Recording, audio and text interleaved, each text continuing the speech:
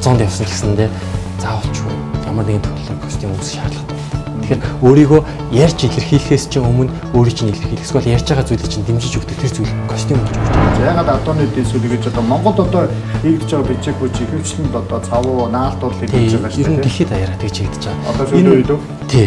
Гол нь ягаад тэр наалт ашиглаж байгаа юм бэ гэхээр үйлдвэрлэлийн процесс илүү хурдан. Одоо яг дэлгүүрээс стандарт одоо хэмжээтэй гэх юм уу? Энгийн хэмжээтэй дэлгүүрээс шууд худалдаж авч байгаа костюм хятад хийж байгаа нь бол 20-30 мянган л байна. Ерөөсөө юм хөвлөж байгаа юм шиг гардаг гэсэн. Тэгэхээр маш хурдан хугацаанд хийгддэг. Материалын үед одоо полистер ч юм ийм химийн элементүүд нь ашигласан байдаг. Тэгэхээр нөгөө хүн өмсөж байгаа хөлрөг нь халууцсан тэгээ биент гоё юм сууж өгөхгүй ч юм ийм их асуудал ихтэй ажилладаг. Тэгээд нэг жилээс 2 жил өмсөөл хаягдчихдаг.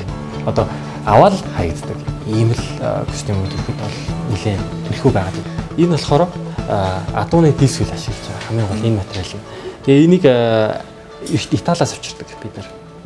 Монгол адууны диск ялгаагүй юу? Тэг ялгаагүй. Яг энийг ингэж хийж хийх боломж нь одоогоор байхгүй. Монголд бол байхгүй юм тий. Тий байхгүй. Бас л нэг кластер үйлдвэр биш наачаа. Тий, энийг бол хийх одоо хин нэг нь хийвэл бас бид нар тал маш тийм гоё л даваа тал болно л та. Тэгээ энийг ашиглаад костюм хийхээр яг үйлдвэрийн хурд удаан маш удаан. Хүн гараараа заавал өгдөг энийг. Гол асуудал нь. Яг тэр наалтыг бол тэр машинд ингээд даваатаа нь оруулаад хүлэгчдэг байхгүй. Тэнгүүт ингээд хүний ажиллагаагаар хүлгээл гараад ирнэ. А энийг бол хэсэг болгоноор нь гараар ойж өгдөг.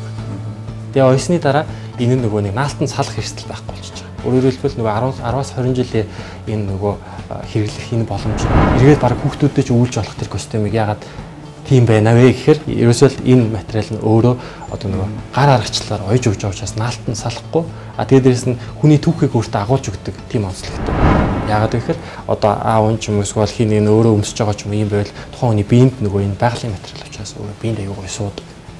Тийм учраас орчин үеийн хувийг дуулах шиг гэж биед төстэй. За энэ даав материалуудыг хаанаас авж байна?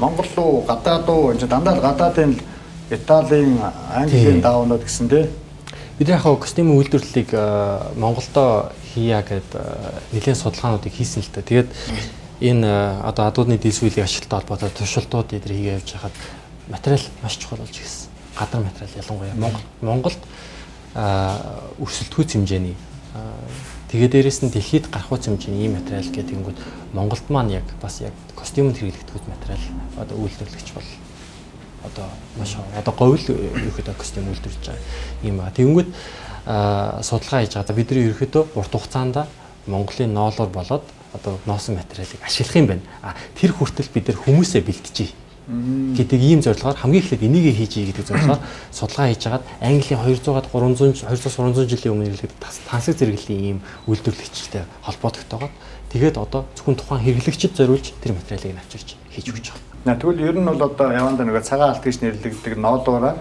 ашиглаж ашиглаж одоо костюм постуудыг хийх нь байна тий. Тий, одоо хийж байгаа. Яг нь туршилтын зурмаар Монголын ноолуурын бүтээгдэхүүн үйлдвэрлэдэг ийм компаниудтай хамтраад тэдний материалыг ашиглаад костюм ирэхэд одоо туршилтын журмаар хийгээд явж байгаа. Тэгэхээр хамгийн нарийн ширхтээ ийм ноолуурыг ашиглах нь аюул чухал. А тэгээд бас ноос аюул чухал байгаа. Ер нь бол костюм дээр ноолуур Монголд одоо түгээмэл ашиглаж байгаа ч гэсэндээ костюмны хувьд хамгийн тансаг бөгөөд хамгийн удаан хэрэглээтэй материал нь өөрөө 100% үйл